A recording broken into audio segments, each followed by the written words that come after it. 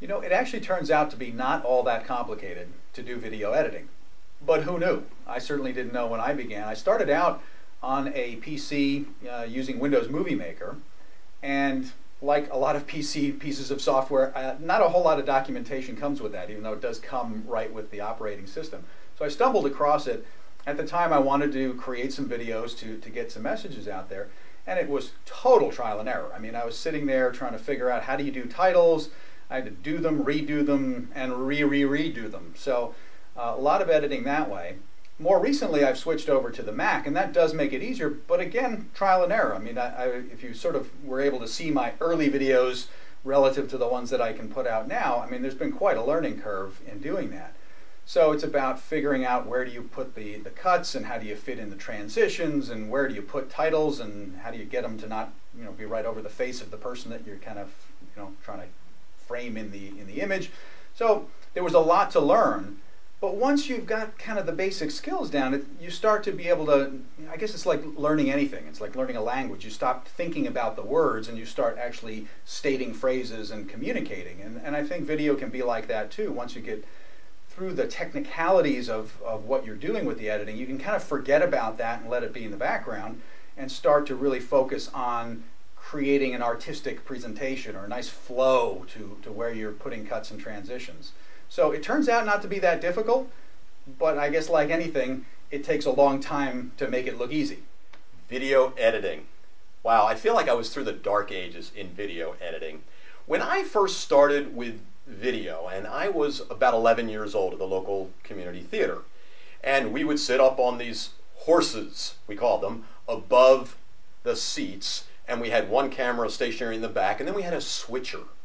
That literally would switch among the three cameras. So depending on what the director was seeing, and I often was the director, even at that age, we would switch among those cameras. But we only could do it one time.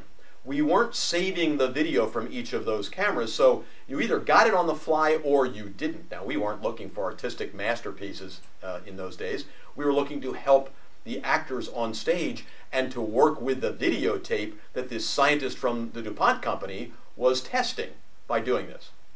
So we went from there, and where was the next advance? The next advance for me was having two actual video players into one video recorder. You'd tape with three different cameras, two different cameras, let's stick to two. You'd go with two cameras, and then you'd start each one of those, and you'd have to shoot off a uh, flash from a camera to make sure that you got them started exactly the same place. So on that camera, you would look for where that burst of light was, and you'd start both those um, playback units at the same time into a third recorder, again using a switcher. So both would be running and I would look ahead and I'd try to decide which had bet and I'd go to this playback unit and then I'd go to this one.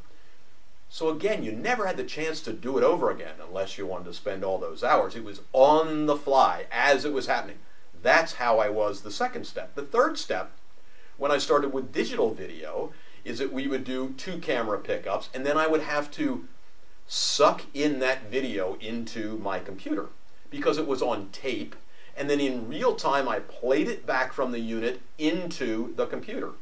Well, you can imagine that computer hiccups once during that hour of taking back in that videotape, you've lost the whole thing, you have to start over again. So you'd get several cameras worth in, you do your editing at that point in what's called um, linear, non-linear destructive. No destruction going on here. You weren't ruining any of the original video and you were doing the editing but the computers couldn't hold all that video, so you'd do the first section, you'd offload it all. You'd bring on all the rest of the clips, you'd do the next section, you'd off for however many you had to do.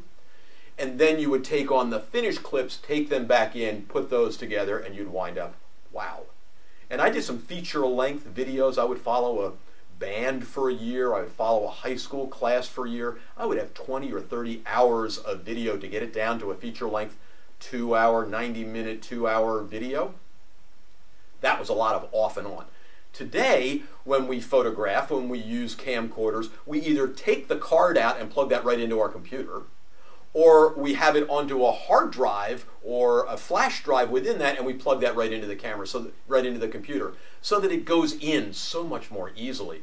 We can then manipulate the video. The files are larger if you're using HD, but it turns out it's much easier to be able to do that. So I slogged my way through from being 11 until now learning video, but at least I learned at that point all the different things I could do. So my horizon was pretty broad and I knew a lot of the things that I could do in editing. Now it's just making sure that the program that I used would do those things that I learned how to do when I was much younger.